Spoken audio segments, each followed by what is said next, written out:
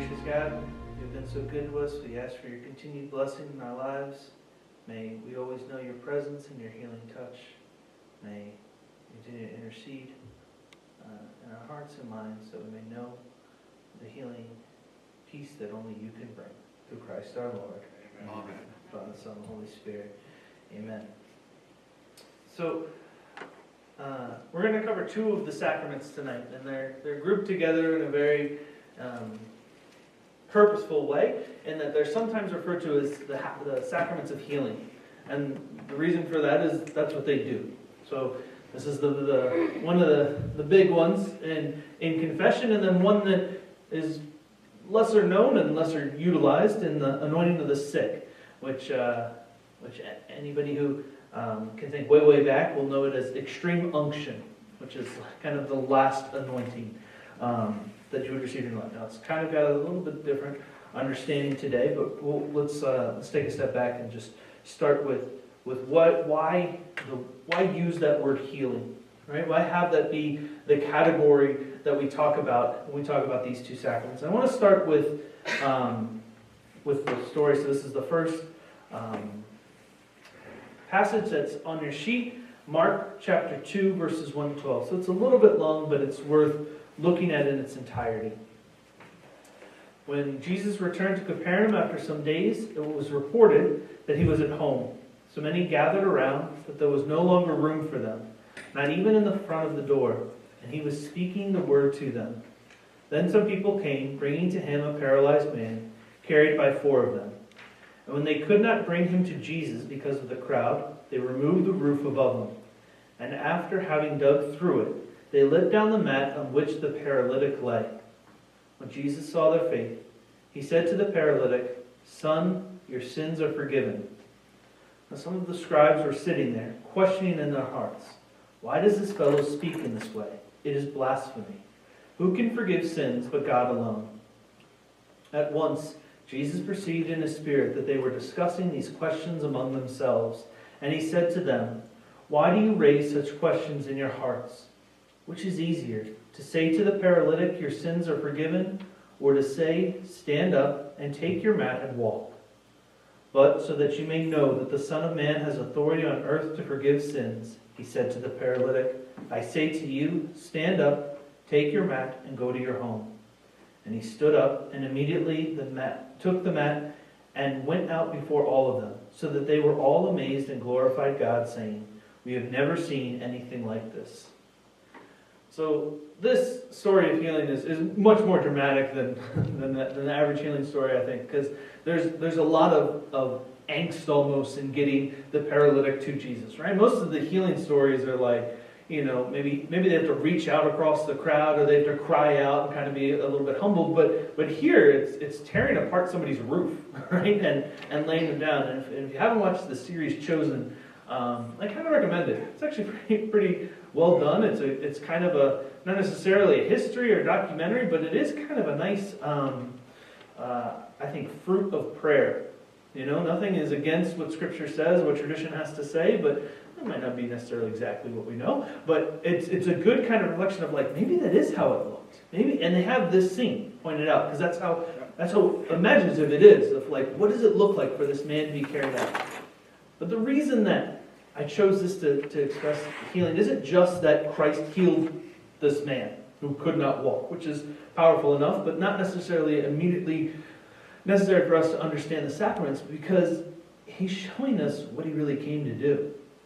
Right? Here it is, like he's he knows why these people ripped off a roof and dropped this man down. Right? And it wasn't so that his sins would be forgiven. Christ knew exactly what they were asking for, and he still gave them something greater than what they understood. Right? It's kind of like our prayer sometimes. God, just let me get this job. God, let me get like this, this raise. God, let me help me with, with understanding this thing. And God sometimes says no, but he gives us something greater. That's what happens here in the paralytic. They asked for his physical healing, and he forgave his sins. Right? That in Christ's mission of healing, more than the physical is the spiritual. More than understanding of, of the body is a reconciliation into one body, the body of Christ, and reconciliation of man and God, of the soul being truly healed so that we may have our sins forgiven and washed clean and live in the way that we're called to. All right, so that just sets the tone of what does it mean to be part of Christ's healing message, of, his healing touch, but that he shows these healings to show that he has authority.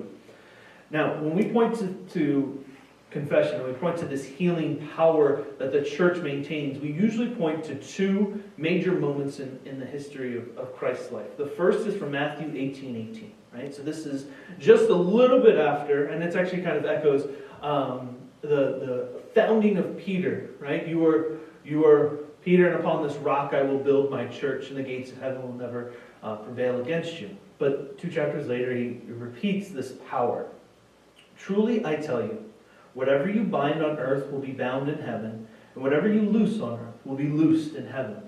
Now, obviously, we can think of that, this, this power of the keys as a couple of different um, uh, manifestations, let's say, a couple of different ways in which it can be seen. But the, the normal, the ordinary thing that we see would be the forgiveness of sins. So, what you bind on earth, what, if a priest says your sins will never be forgiven, all right, he doesn't really have that power.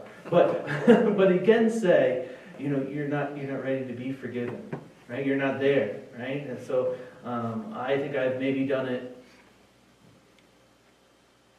maybe once in my priesthood where I've said, you know, I don't think you're going to stop sinning, like in that particular one that you brought. And they're like, no, I'm not.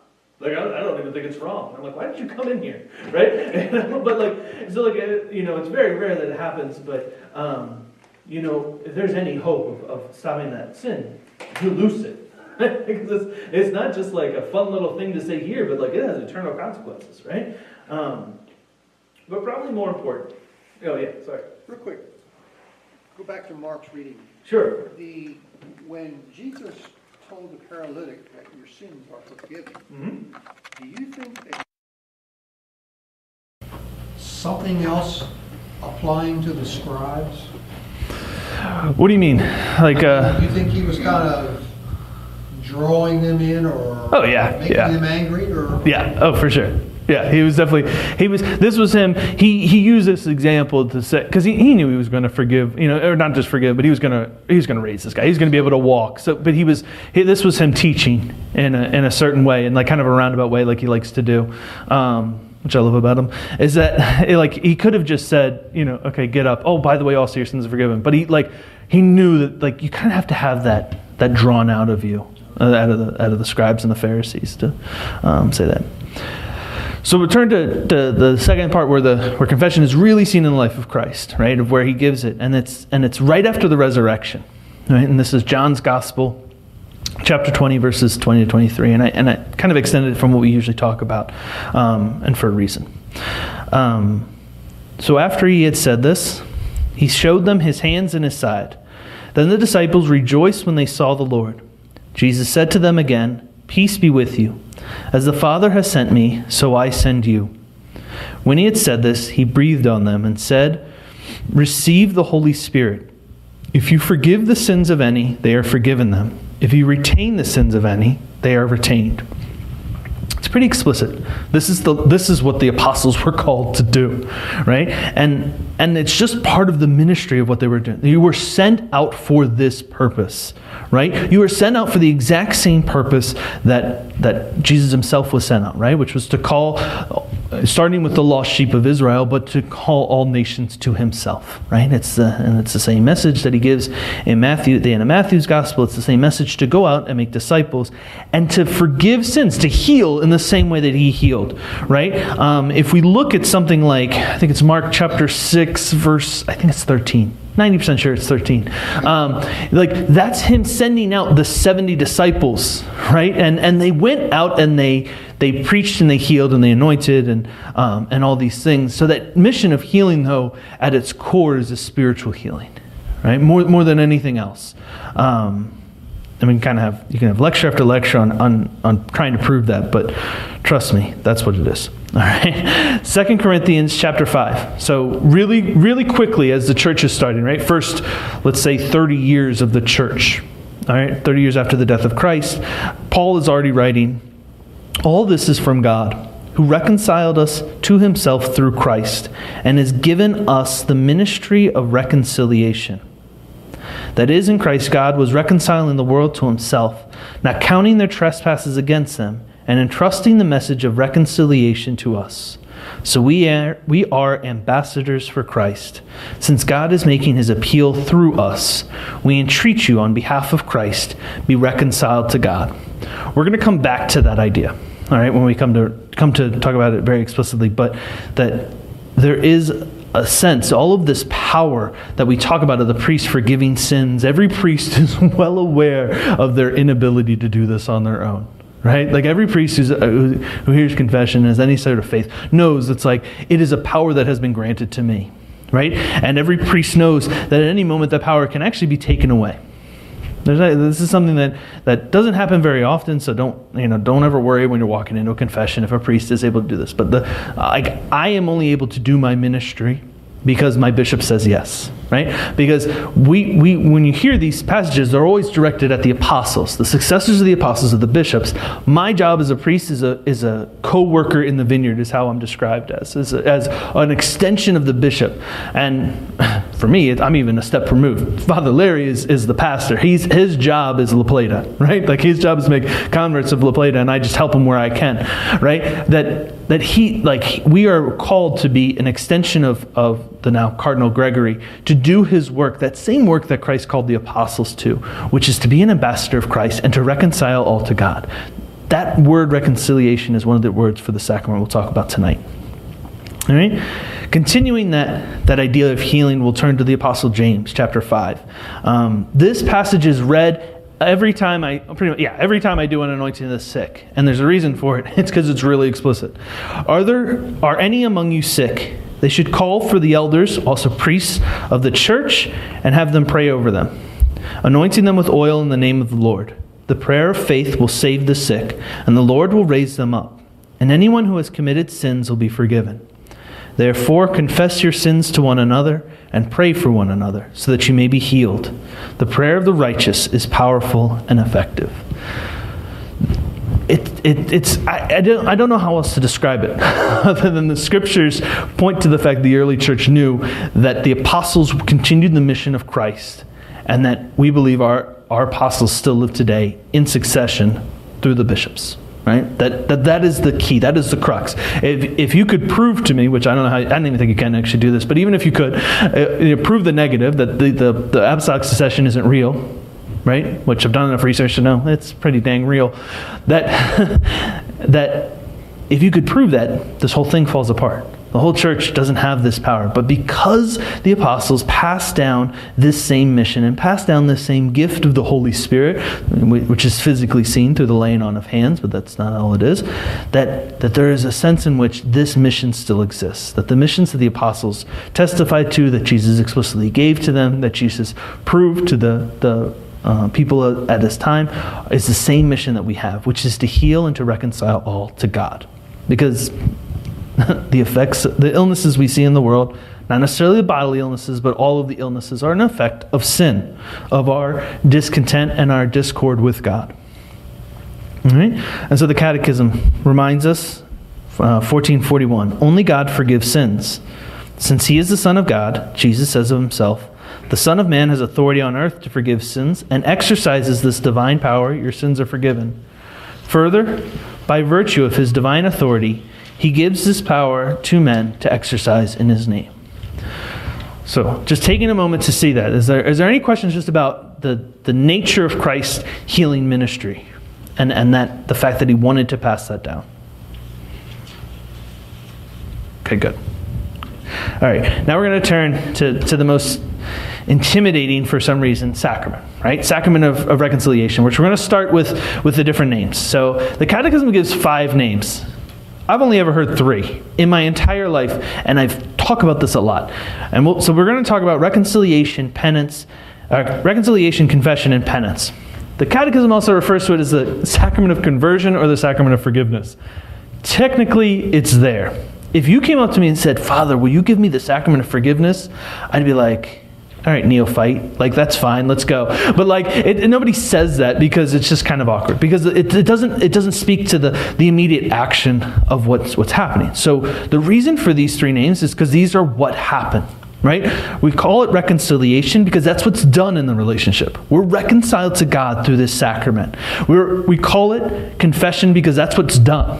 We confess, we proclaim, we say our sins explicitly and without any holding back. And the last is penance, because that's what we do to, to, to, repair the relationship with God, which we can't do on our own, but through the merits of Christ, we're able to.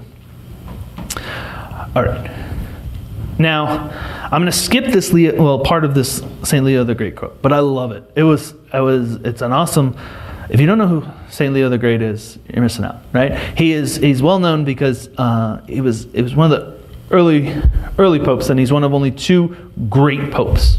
Um, so that, that, you know, suffix, right, is, is only given to Gregory and to Leo.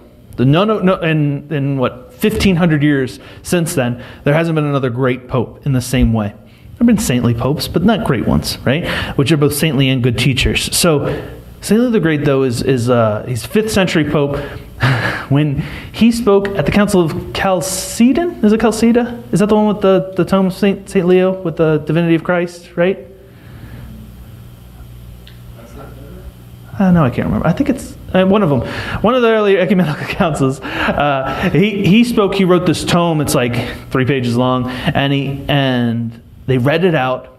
And all of the bishops, or one of the, all the bishops stood up and said, As Leo speaks, so does Peter. Right? Referring to his authority as, as the Pope before the Pope was really understood in the fullness of what he is. But that, that Leo was able to speak with the same, same which one? Ah, see, look how smart I am. That, that there is a sense in which that, that he was just this amazing teacher and he, was, he spoke with the same authority that Peter had, which is authority of Christ himself. He writes about the sacrament The manifold mercy of God so assists men when they fall, that not only by the grace of baptism, but also by the remedy of penitence, is the hope of eternal life revived, in order that they who have violated the gifts of the second birth all right, we're going to skip over. Condemning themselves by their own judgment, may attain to remission of their crimes, the provisions of divine goodness, having so ordained that God's indulgence cannot be obtained without the supplications of priests. I mean, it's not right after the life of Christ, but we're talking before the split of Christianity, even the first splits of Christianity, that, that we're already testifying to the fact that there was this sacrament done through the mediation, right? This, this intercession of a priest, in which after baptism, sins were forgiven again. Now, the exact look of the sacrament is a little bit easier now. Okay? And if you think that it's intimidating to walk into the confessional and talk to a priest in this room, in which you can't even see him, I just want you to know that the early penitence, the early sacrament of confession was done publicly right? That you didn't just come in front of the priest and, and he was under the seal of confession, but that you walked in front of the whole church and said, Forgive me, for I have done all of these things, right? So it's a little bit more intimidating. We've kind of toned it down in terms of its public nature to basically, unless people see you walk in and out of the confessional, nobody knows what you're doing, right? So we're going to look to what the Catechism has to say about how we are to receive the grace of the sacrament. Individual, integral confession, and absolution remain the ordinary way for the faithful to reconcile themselves with God and the church, unless physical or moral impossibility excuses from this kind of confession. All right. So, we're going to break that down a little bit. So, individual just meaning one on one with the priest. Now, we're going to skip, skip over this integral just for a second and, and see. Notice how when the church speaks, they say we're reconciling ourselves with God and with the church. And why is that? It's because too often we think of the church in its hierarchical state right? We're thinking, you know, the, the, the, easy things that we can see, right? I need to reconcile with, with Father and with the bishop and the Pope and all that. Okay, great. That, that's true. That's one nature of the church. But the true nature of the church is that, it, that she's the spouse of Christ, that she's, that we're part, we're, eh, we're, we've made become made or we're made into we are adopted into incorporated into this body with christ as our head. And so it is a living organ in which if, if we start to get sick we're going to infect everyone else in it unless we reconcile with them right? So it's not a perfect analogy but it's pretty darn good. Once the once the leprosy starts here you kind of want to cut it out right? Unless there's unless you can heal it right? You don't want to keep the dead part of the body because it's only going to hurt the entire body so when we talk about our reconciling when we talk about our sins our sins are never just ours it's never just an assault against God. I don't care if I am in my room alone and nobody sees me. It's not just me and God who is hurt. It always hurts the body of Christ. And so the sacrament has this necessary, like, like same incarnational nature, this fleshly nature to the sacrament, in which, yeah, we're reconciled to God. It's the best part of what we're doing, but but God isn't isn't distant. Right? He isn't so he isn't so out there, but rather he is made part of the church. And so we have a duty to reconcile to the church in the midst of all of this stuff. And so when we talk about our reconciliation, we talk about primarily with God, but that it because of God's goodness, it's also the church. So going back into this idea of what is an integral confession? Basically, it means everything. you confess all of your sins. Now, that's more intimidating for your first time. After that, it gets a little bit easier because your first time you come to confession, you're like, all right, well, I'm 70 years old, right? you know, like, like this is going to take a hot minute, Father, and that's okay, right? But the second time, it won't take so long to get to confession, right? And so you can go as often as you need, obviously. But but the idea is that. Um, and I meant, I promise you, I really did mean to bring you an examination of conscience for tonight. And our printer decided to explode, right? Basically. Yeah. Like I was like, I was so excited. I was like on top of it. I asked the secretary, I was like, help me out. Give me a couple d- different versions. And she was, it's like, like 11.30 in the morning. So I'm like, this is so far ahead of time. I'm doing great. And at like 3 o'clock, we're running them off. And all of a sudden you hear, and it was great. Um, so you don't have an examination of conscience tonight, but there is one upstairs if you want to go hunt it down. All right. Basically, there's a, there's a, a need to, to confess all of our mortal sins. So the mortal sins, right? Because I think we've talked about it already. But the difference between a mortal and venial sin. A mortal sin completely cuts us off from God. It cuts us off from His grace. These are the, the things that have three, three um, necessary components that you always have to have. Has to be grave matter, right? You can never, um, I don't know, you can never uh, mortally steal a pencil right? It's just not grave matter. It's not very expensive. It doesn't really hurt anybody.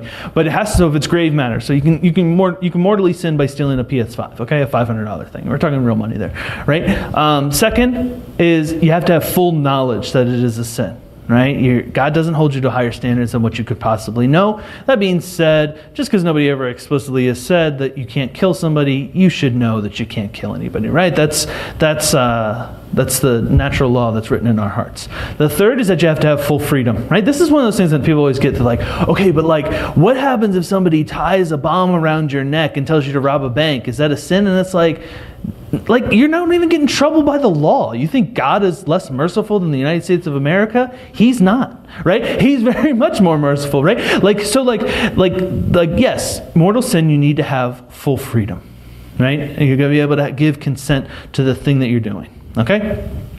Now, and then there are the venial sins, which are lesser, uh, either less important or, or, for some other reason, um, weaken our, our either our freedom or our knowledge. Okay. How does the sacrament look? Right? How to, first things first, before you even walk in the room, do an examination of conscience. All right? Take the time to say, These are my sins. Because this is what you don't want to hear from the priest.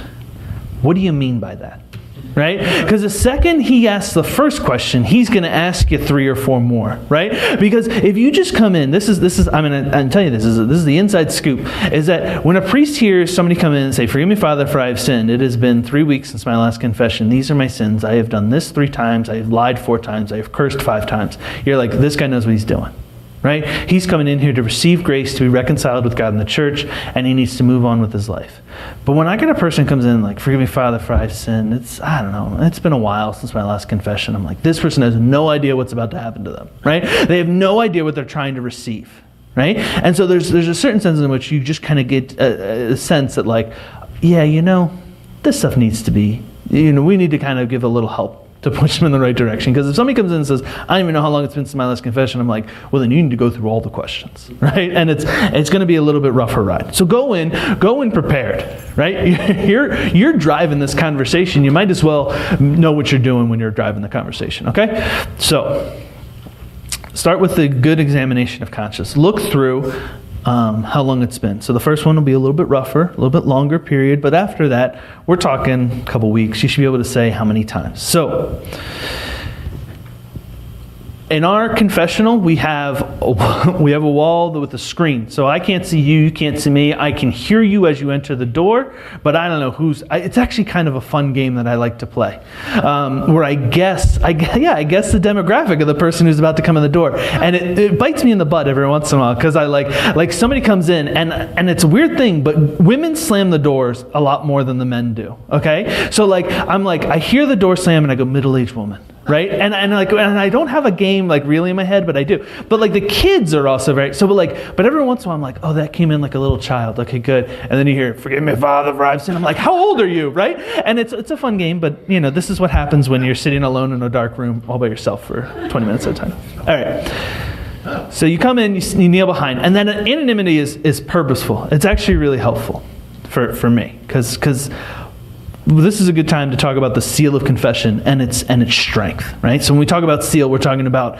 um, not the animal or not anything like that. We're talking about the fact that it cannot be broken, right? It's it's an it is this is the mm, let's say top three things that a priest can't do is break this seal, right? This is this is I, I, the second I break the seal of confession. Um, like okay so let's say father larry came to me to confession and i said and father larry did this sin right? That's a direct violation of the seal. So father larry killed a man right? The second i do that i am kicked out of the priesthood. I can't do any ministry not even, not even if i wanted to. Uh, i'm excommunicated from the church and to be reconciled i need to go to the pope right? It's, it's a big deal to do that right? Um, and so we're actually called as priests. I, one of the things that I do after every series of confessions is I pray to for, forget. And so far, so good. But so that, that seal of confession means I am not allowed to, to know it once we're done. I am not allowed to know your sins. All right. So that means that I that I can't say, you know, if your your kid goes to confession and then you're next up and you kneel down and you say, Father, did he confess this? I don't, don't get to tell you that, right? Like, it does happen. Moms are weird, right? That they do that kind of stuff, and husbands also do that about their wives. It's really funny, right? But like, like that that seal says that like I don't talk about that with anybody ever. Father Larry and I don't talk about confessions almost ever, right? Like we just don't. Sometimes we compare when we're hearing confessions at the same time, um, or if somebody says something along the lines of like, "Oh man, I wish Father Jack was in the confessional, not you," which may or may not have been said to Father Larry recently, but I don't know why they would. Um, but that, that that seal of confession says I can't talk about it ever, right? And and it is it's one of the things we hold dearest. I know. Um, I know that there have been uh, there have been attacks on it in the United States uh, on the seal. I think so far, I think I've heard Louisiana, Utah, and California. There's a current one in, in North Dakota, and so far they all get shut down so quickly because this is a well established practice. So a priest is never allowed to. And there have been priests who have been martyred because they refused to break this. Right? This is a strong, yeah. So kind of random, I guess, but um, like, what is the process like? So you know nobody's in there because the door is open. Mm-hmm. So when you leave, you have to leave the door open Mhm. so that people know. Yeah. So you walk in and then like you kneel. Yeah, we're going to keep going through this. I just want to explain the, the, the, the seal first because uh, I think that's kind of the big distraction. So, um, yeah, and so so like the second you walk in, yeah, the second you walk in and you kneel, like that seal starts, right? So like uh, we don't talk about it at, at all.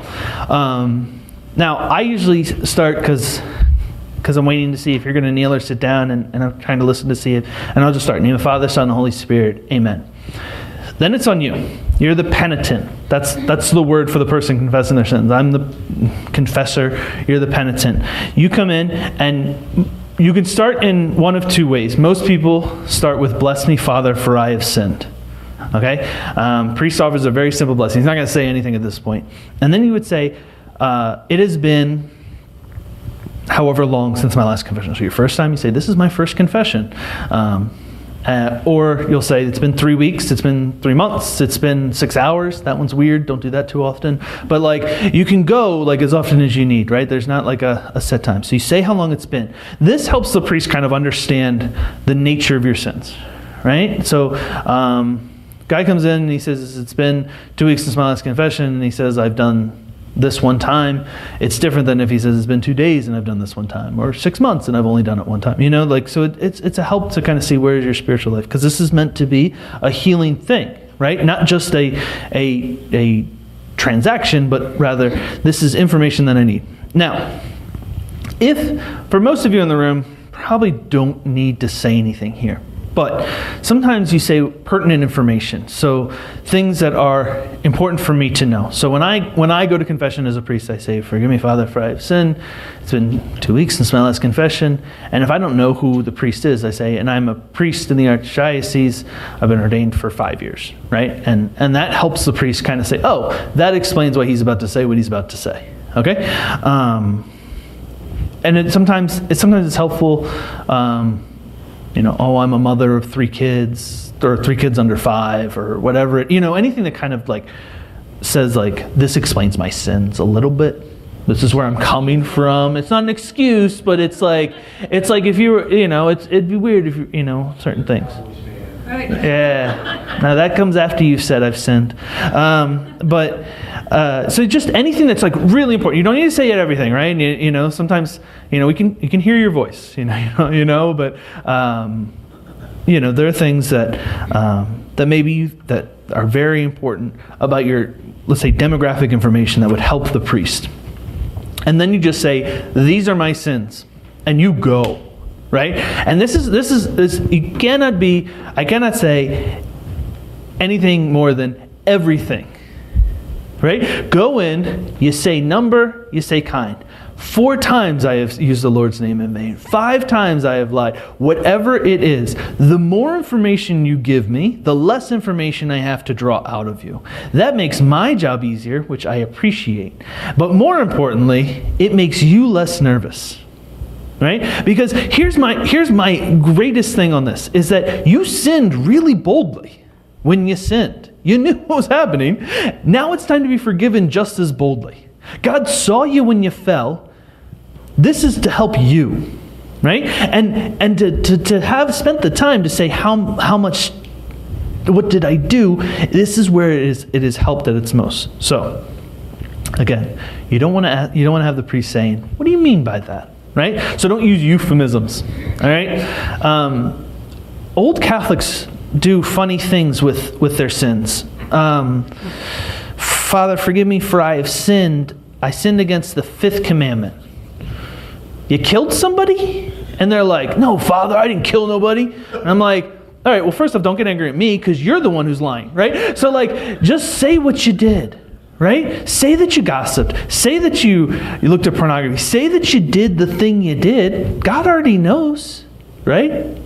Just just be as bold as, as and be bold enough to receive the forgiveness for it. All right. So, uh, or my favorite, this is always my favorite, is uh, forgive me, Father, for I had inappropriate thoughts.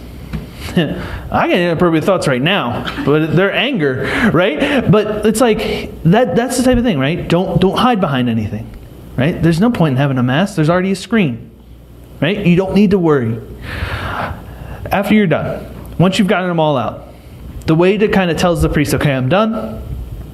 And and also to say, I'm not hiding anything, which is kind of thing. You say, For these and all of my sins, I am truly sorry. You say that, that says, I know what I'm doing. Right? that I, that I'm, I'm not trying to hide anything from God. I'm not trying to hide anything from you, Father. I am, I am 100% aware. And here's the thing about this sacrament that I think is probably more important than, than, than anything that we can really gain, is it is so humbling in a beautiful way. It is so, makes us realize who we are on this earth.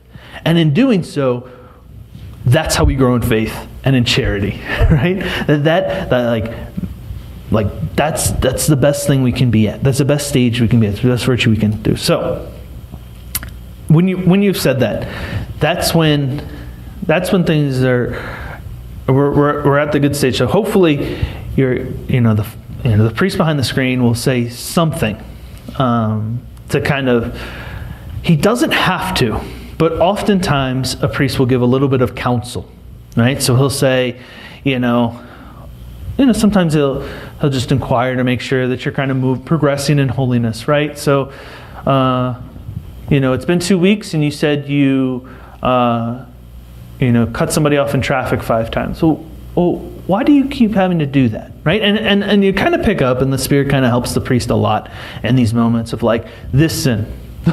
pick, pick on that sin, right? Because there's a reason for it. Um, there's a reason that, that they said it, and and it's not it's it's it's just because there's a certain help that that the Spirit's calling us to. So. Um, you know, and a lot of times it's, it's very pra- it'll be practical tips. You know, how, order your life well, right? Oh, you keep having to cut people off in traffic because you always leave five minutes late. Well, stop hitting the snooze button, right? Like you know, things like that. Like it's not they're not you know, nobody's nobody's judging. We're not allowed to remember it afterwards anyway, right? Like I, the next time you come to confession, I'm probably not going to have have ex, uh, you know a sense of this is you know this is who this is, right? So anyway, priest offers a little bit of counsel, and then it gives you a penance. Um, now, this is this is important because, especially here, because we are we offer confession during Sunday Mass. Um, if you go to confession, right, and the priest says your penance is a rosary, or I don't know what you would have to do to get a rosary, but um, or or something even. Okay, funny story.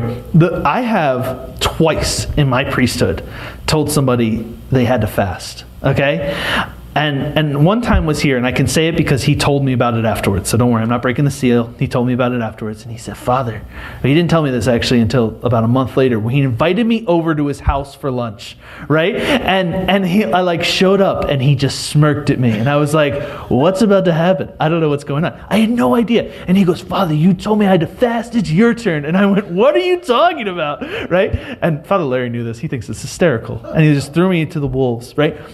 But that kind of penance, right? Even though it's bigger, that penance has nothing to do with your forgiveness. Okay? This is important. So like if you if you have forgotten to do your penance for whatever reason, you didn't get a chance to do it, your sins are still wiped clean. Right? So you can go to con- you can go to communion, right? Uh, I, I've actually done been able to do it, where you offer absolution to somebody seconds before communion is about to be finished, and they run up to the altar rail, kneel down, and be, are able to receive our Lord that day. Right? It's a great gift. What does the penance do?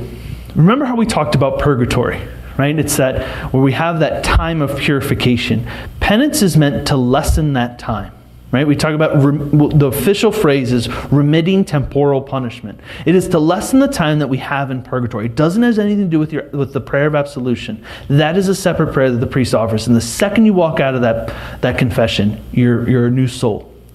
But the penance still is helpful to you um, for your for your spiritual life here on earth and uh, and in all of heaven. Okay, is that a good? Everybody get that? It's a, it's a, it, it'll it'll come in handy one day. All right. After he offers your penance, I almost always say now you can make your act of contrition. But sometimes the priest won't. And so just that's when your time. Once he gives you your penance, you respond. It's a back and forth thing. All right? Now, if you I'm not sure if the, the um, what Father just gave out, if that included an act of contrition or an example of one. Um, but if it doesn't, don't fret. It's in the prayer book. Uh, There's one hanging up in our confessional. It's, it's the teenagers one. We ran out it's the teenager one, so you know, good luck. We'll get you a better one. We'll get you a better one. I promise. It's not In my. Laudate, there is an examination of conscience. There you go. It's the whole thing. I was going to say, there are so many examples of examination conscience in Laudate app. You can look on E EWTN, you can Google it, and you'll find 15. The Catholic Company has a very exhaustive one that I actually really like. Um, and then, the, yeah, and then so this act of contrition, right? Um, now, there's there's the ones that you can kind of see. Those have are kind of like thought out in a little bit fuller theological language. You can use the scriptural one, which is Lord Jesus Christ. I usually say, Lord Jesus Christ, Son of the Living God, have mercy on me, a sinner. So Lord Jesus Christ, have mercy on me, a sinner. One of those phrases. That's that's in there, right? You can use that as if, if you panic, Just have that memorized. Lord Jesus Christ, have mercy on me, a sinner. That's a full act of contrition. Okay? Or you can read the ones that kind of have a little, like, kind of a better sense. So to give an example of one would be, Oh my God, I am heartily sorry for having offended you. I detest all of my sins before your just punishment, most of all because they offend you, my God, who are all good and deserving of all my love. I firmly resolve, with the help of your grace, to sin no more and to avoid the near occasion of sin. Amen. Right? So that that that example is just, and there are certain small variations, but it's the same kind of concept. I've sinned. It's not just because I'm afraid, but because I love you entirely. That I want to be reconciled to you, and with your help, with your grace, I want to avoid sin. I will I will amend my life. Okay. So, and the then this is this is one of those, uh, you know Catholics sometimes are called non charismatic. We don't pray over people very often, but here is we do it all the time, right? A priest raises at least one hand. Sometimes some priests do two. I'm lazy. I do one, right? Right? At least the right hand he prays over and he says the words of absolution, so, um, which. Um, all right, we'll, we'll do most of it. God the Father of mercies, through the death and resurrection of his Son, has reconciled the world to himself and sent the Holy Spirit among us for the forgiveness of sins. Through the ministry of the church, may God give you pardon and peace. And then it's the exact words. Now, I one time was doing this in seminary as a priest, and I was I was kind of explaining to somebody what it was, and one of my buddies jumps in and goes, "Father, you you're shooting live bullets now. Don't offer that prayer." And I was like, "You're a nerd." Right? But but he's right. You know, when a priest you know has the intention to forgive sins, he can do it with just like eight words, right? Um, I absolve you of your sins, and then in the name of the Trinity, and and in that like. Sins are gone. They're wiped. You're a new soul. Everything, you are reconciled to God and to the church. You are. You have all of the things um, in which a person uh, has rights in the church. Does that happen in the confessional? That's in the confessional. You, yeah. Now, the confession ends with a dismissal. Now, I never do it. I know very few priests who offer this prayer, but I, it's really beautiful, and I wish we did it more often. But too many people don't know it, so we don't do it. But it's give thanks to the Lord for He is good, and then you would respond, His mercy endures forever. And then, but it, what usually happens is some version of go in peace. It's kind of like the end of Mass. You'll know when you're supposed to go, right? You get told, get out of here. Um, so it's Lord has freed you from your sins. Uh, something, something go in peace response. Thanks be to God. Right. This is a grace. Every grace we should be giving thanks to God for. Um, now, like I said, oftentimes the penance is, is a certain set of prayers that you can do in the church right away. Right. Like that's that's kind of our intent most of the time. Not always. Sometimes for whatever for different reasons this, the penance is a little bit greater sometimes it's carried out over days not very often um, but sometimes it's sometimes i mean I, am actually i really like giving out scripture verses as penance um, and uh, that can be annoying to people because they don't have a bible but everybody has a phone so google it you know?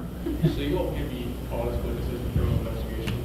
sorry say that again? You all can't be called as witnesses? if they called if they okay i'll tell an example of a, of a priest. No we're not allowed to be called uh, or i mean they can call us but we're not allowed to testify. Uh, but they can do what they want. I mean so i know of a priest this is actually a really tragic case. He was a professor, and he had a computer outside of his office, but it was registered to him. Right? And somebody looked up child pornography, and it was his name on the computer. So when they tracked it down, it's his name, it's his computer, it's outside his office, and they said to him, uh, you know, what the heck? You know, and they, they did their investigation, and, and his response, and everyone found it really peculiar, was, You're asking the wrong questions. Right? Which is like, like when you're get told, like, Is this your computer? And he says, You're asking the wrong questions, like, it kind of sounds like a jerk. Except for there was an old tradition of that's how you answered when you heard a confession of somebody, right? So if you like Alfred Hitchcock, he has a book called Confession, right? Or is that I Confess? I confess. They remade it called Confession. It's not as good. Look up Hitchcock's I Confess. And it's the story of uh, a man commits murder, goes to this priest, has him hear his confession, and then accuses the priest of being the murderer. and, and he gets caught, right? And they, they like, I mean, they persecute the priest, right? And um, another good one is Calvary um, which is set in more, more modern day Ireland, which is actually a cool question. And it starts with the, in a confessional. The priest is hearing confession, and he says, "Forgive me, Father, for I will sin. I'm going to kill you at the end of the week." And and he doesn't know what to do. Now, in that case, it's actually not under the seal of confession because he's not asking for forgiveness and he hasn't actually done the sin. But that's kind of a weird. But he takes that seal so seriously that he does not turn the guy in, right? Which is probably the more um, appropriate thing to do. But it's kind of like, yeah, that seal is sacrosanct, right? There's nothing higher in terms of our, our, our duties. Yeah, mean, in a strange case like you just yeah, did, yeah. couldn't a priest take that up a level or two? and- Yeah, And get yeah. some, Yeah, so actually in the movie, he, he goes to the bishop and without using any identifying information, he says, What am I supposed to do here? And the bishop actually says, He didn't confess to you. Like, it's not, um, you know, this doesn't, the seal doesn't really apply here. And he still doesn't turn him in because he thinks. Now, the, the thing of that is, is that there's still a witness to the power of the seal, and I think that's what the idea is. That like he's like, I can't break, I just can't let my people lose their trust in the sacrament, and so he ends up um, n- not turning them in. Um, but yeah, yeah, this this question of uh, of what to do is is very difficult. Um, but um, yeah, it happens. Are there any other questions about confession before? Yeah. Okay, uh, for the first time confession, Mm-hmm. right? I mean, you say it, you're going back seventy years. Right, So- right. So, you know, I'm, I'm kinda hearing what you're saying, but how much time do you have? Yeah, yeah. See, we- the- we- I was gonna wait till the end, but we can talk about, that was one of the questions. So for you all, for your first confession, we, we usually do, we schedule them. Okay, this is not you dropping by on a Saturday evening.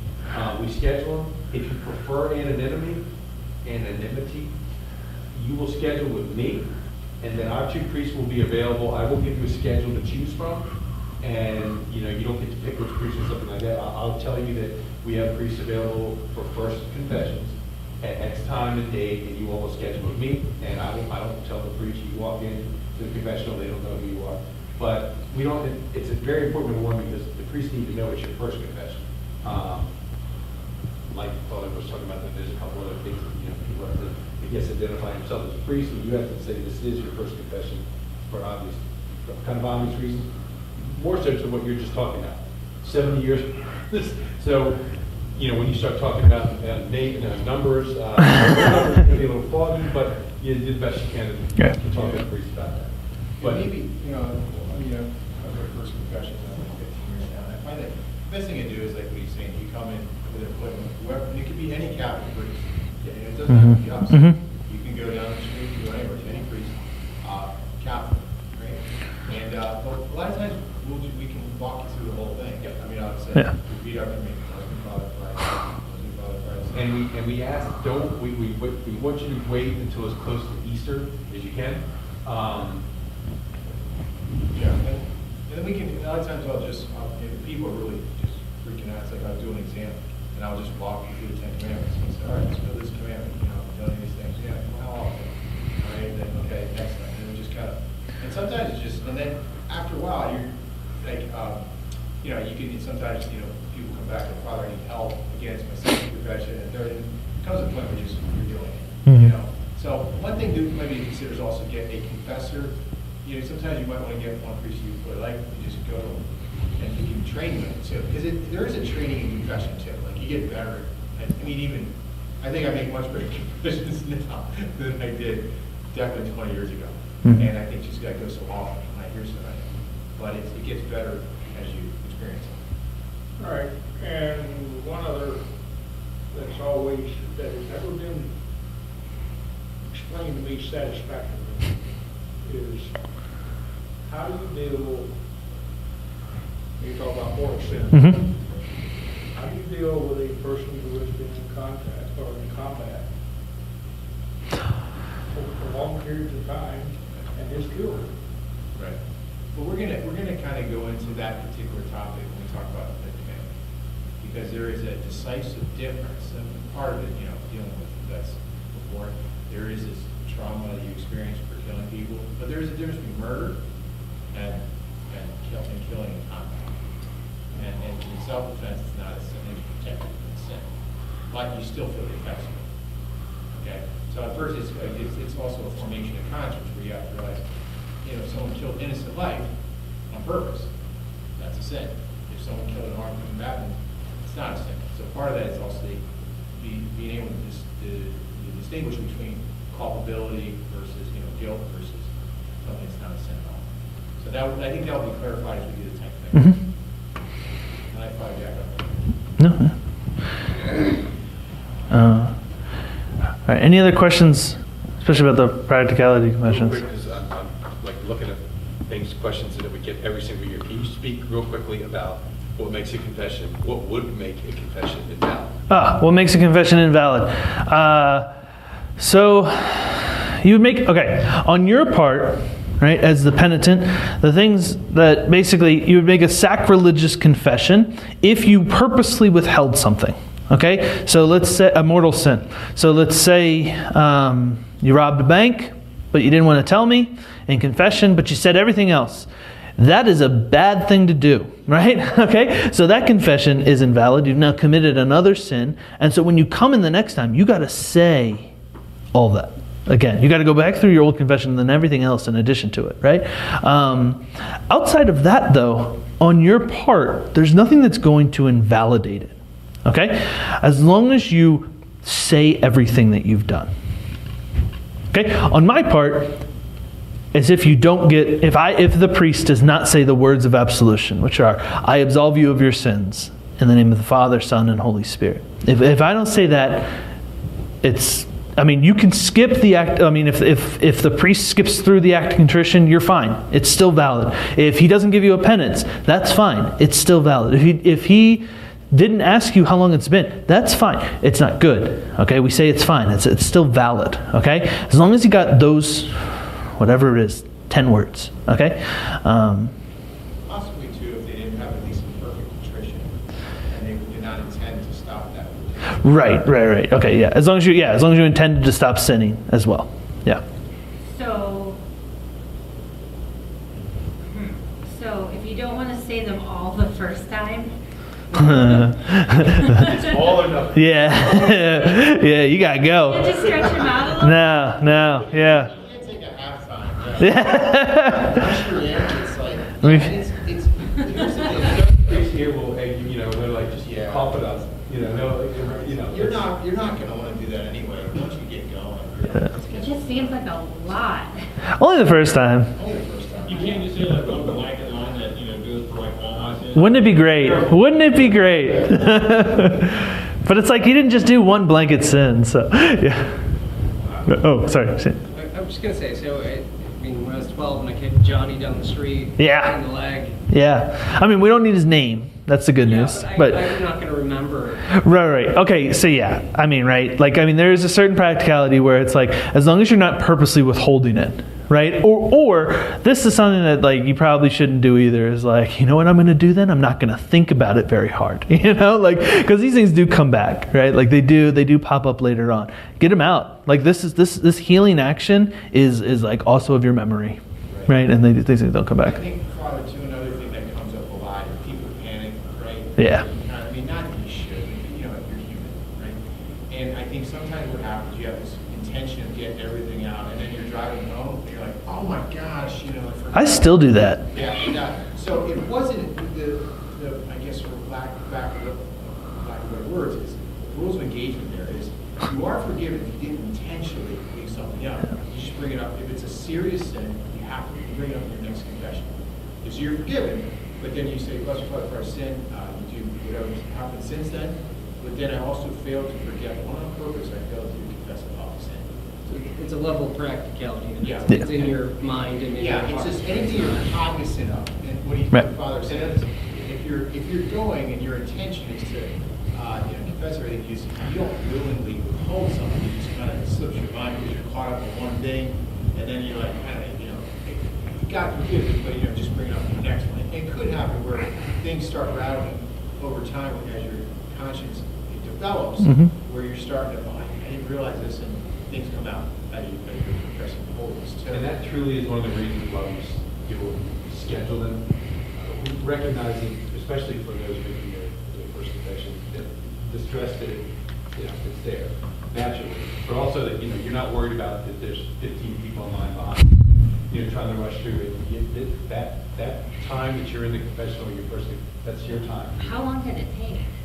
I've heard 45 minutes, hour and a half. I Yeah. mean, seriously though, if you just start thinking They're of all all the little things, So it's just, a whole day, it you can do could be forever. Yeah. Uh-huh. I mean, people say that, but I don't, even if you did, I mean, you're just saying, all you're saying, you're not really telling a story, just have to say, thus said. Yes, yes. This is a, this is okay. If you want to annoy a priest in confession, tell somebody, tell me your husband or wife's sins, right? I don't care. I, you're not here for them, right? Like I don't need to hear why you did what you did. I just need to hear that you did it. I don't care why you killed a man. Well, okay, unless there's like a really extenuating circumstances like war, right? But like like I don't need to know like which bank it was that you robbed. Like I just need to know I stole from a bank right? Like I stole money from a bank under threat of violence, right? That's enough. That that was a long time for you, and eight seconds in a confession, right? Like it's like like. th- It sounds really intimidating, but it, the whole backstory is, an, is normally not necessary. I felt like, you know, like you said, like a number, I did this, this many times, can I say many times? Okay, so there you shouldn't. Many is not a good one, but if Well, I but number a lot. Yeah. so here do you go. So things like, all right, so I curse eight times a day. Let's say that. Like, okay, you don't need to give me a real number right now, right? But it's like, like that's what that's what I'm saying. Like that's fine, right? Because there's there's like a good pattern. There's a good like there's a sense of how many times it's been, even though you're not going to have an exact number. Father, would be okay if they said something like, um, in for first confession? mm-hmm. Say Father, if I sin, I did X and Y sin, sin, X and Y sin, whatever it is. Mhm. Um, For several, you know, for ten years, uh, daily, Yeah. um, weekly, monthly. Perfect. Yeah. There's no math involved in, in confession. Yeah. Frequency is important. Okay. Yeah. It's like, it's kind of sin, couple times, fifteen to twenty, on a daily basis, weekly basis, hourly basis, I mean, just, it's a frequency. Happens. Yeah, I mean, I think, once you, once you put it to that rate, you know, it's, it's, You could always make a list. Yeah, yeah. People do. People do actually write it down right during the examination, and then preferably burn it afterwards. yeah. Some people do it on their phones. Whatever you feel comfortable with, as long as you say it when in front of me, you can use whatever you want. I have had a couple times. I don't like when people do this, but I've had had a couple times where somebody will uh, write it down and then hand me it afterwards. Like they have to say it out loud. Then they're like, Father, can you get rid of this? And they just like throw it over the wall, and I'm like stuck with it now. And I'm like, ah, dang it! Like I don't know. I don't want this like at all. But you, you know, technically, it's fine.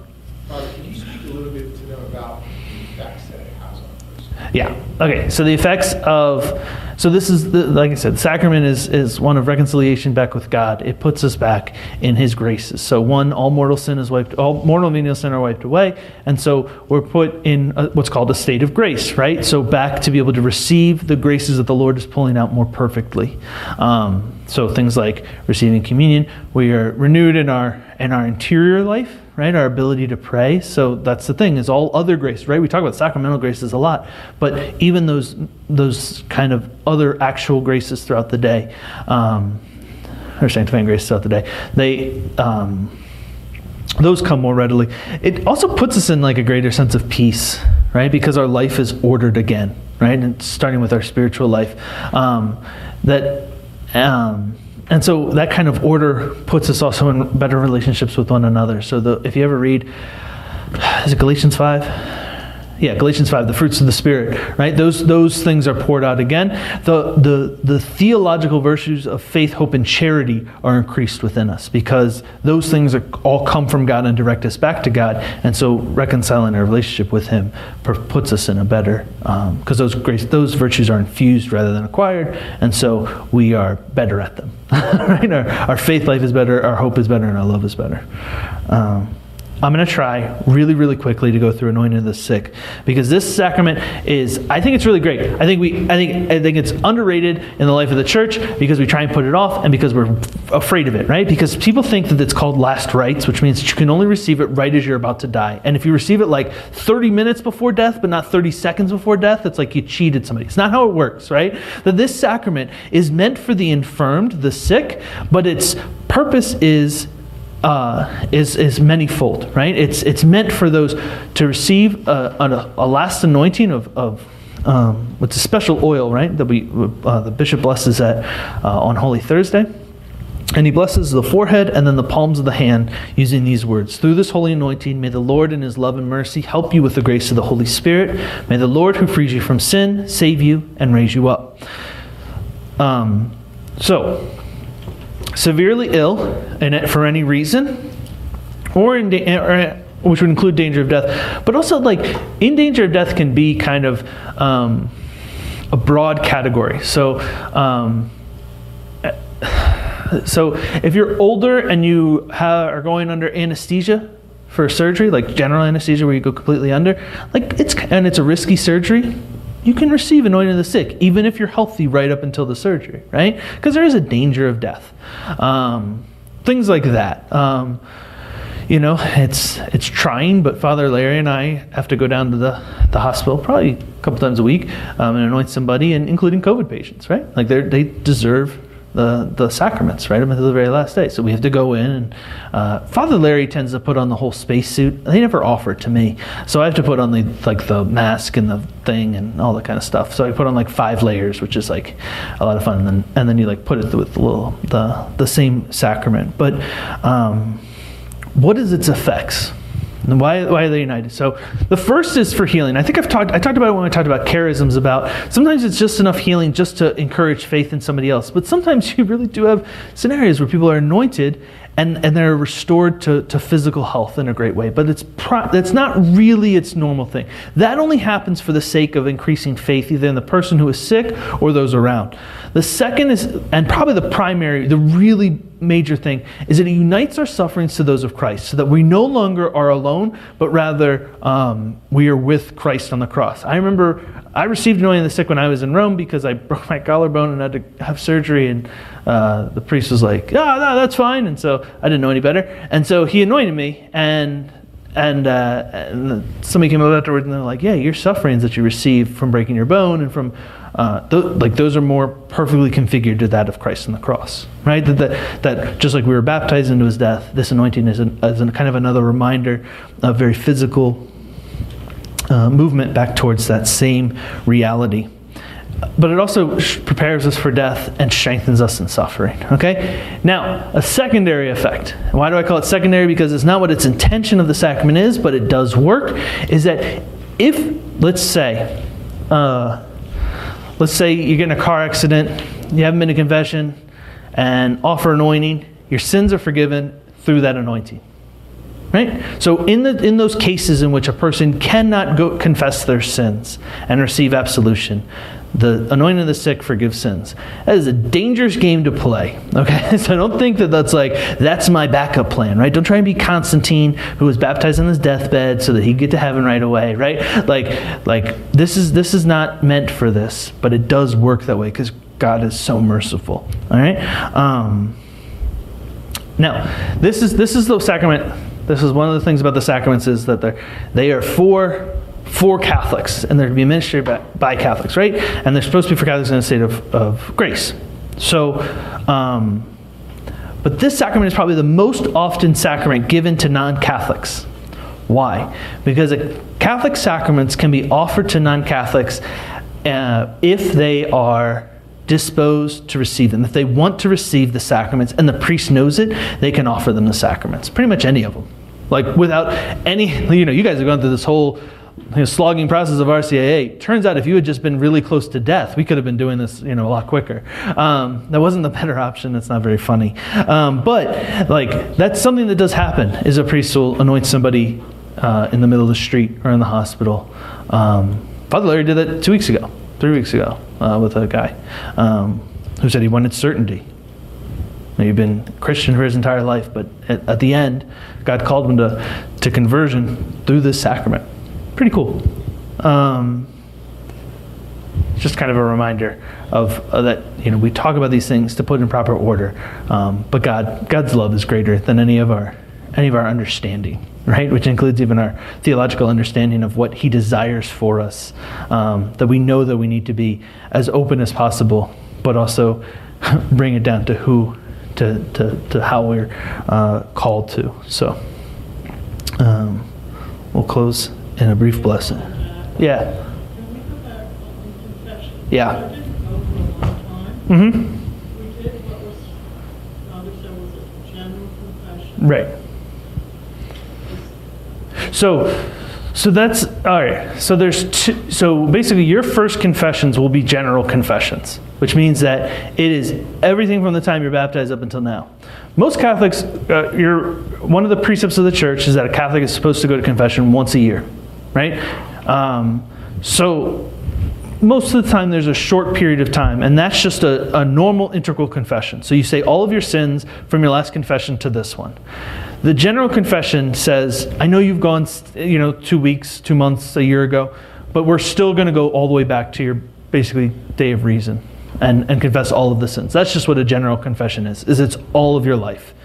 So that'll be like your first one but maybe 15 20 years down the road maybe less you'll say i want to make another one it's not bad it's a good spiritual practice. Can I just, real quick, Yeah.